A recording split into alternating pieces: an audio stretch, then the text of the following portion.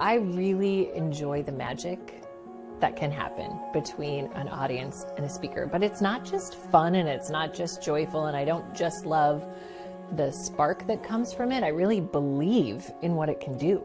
I'm driven by the purpose that we have as leaders and speakers and change makers. It's like being out front has a purpose, it has a role to play in the world. I, I love speaking. I love a stage, partly because I feel like I'm having a bigger impact in those moments. I am engaging, dynamic, fun. I can take this topic that can be intimidating for people and make it relatable and real. So it's going to be interactive.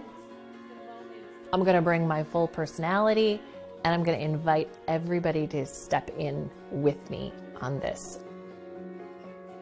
You'll walk away inspired. You'll walk away feeling like you can do things that you think you can't do. And I'm going to give you some tactical, hands on strategies and approaches because I think it's both. We want to educate and we want to inspire.